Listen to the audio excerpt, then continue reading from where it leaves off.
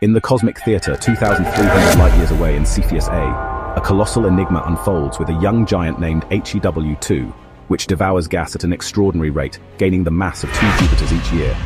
Hidden by interstellar dust, it reveals its secrets through the whispers of ammonia and radio waves. Astronomers discover a universal truth as they explore this cosmic cocoon. The same dance of gas and dust fuels stars from the smallest to the largest. Yet mysteries remain, with turbulent asymmetries and unseen forces challenging our understanding of how these massive stars sustain their growth. Welcome to the frontier of star formation, where the universe's most massive architects create their luminous legacies.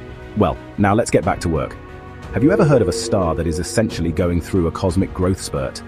Meet HW2. This bad boy is chowing down on gas like it's an all-you-can-eat buffet, and gaining two Jupiters worth of mass every single year.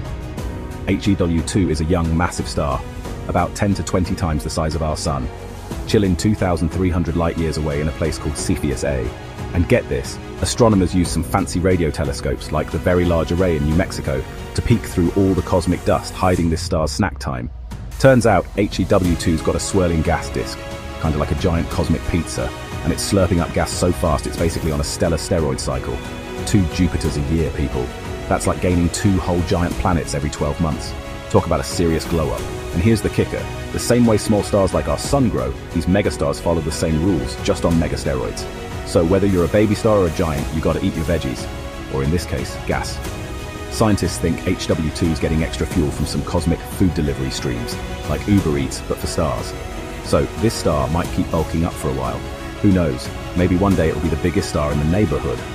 So next time you're stressing about your gains at the gym, just remember HW2's out there gaining two Jupiters a year. And it's been doing it for thousands of years. Space Flex, am I right? Smash that like if you love cosmic glow-ups and hit subscribe for more Space Tea. Catch you later, Star Chasers.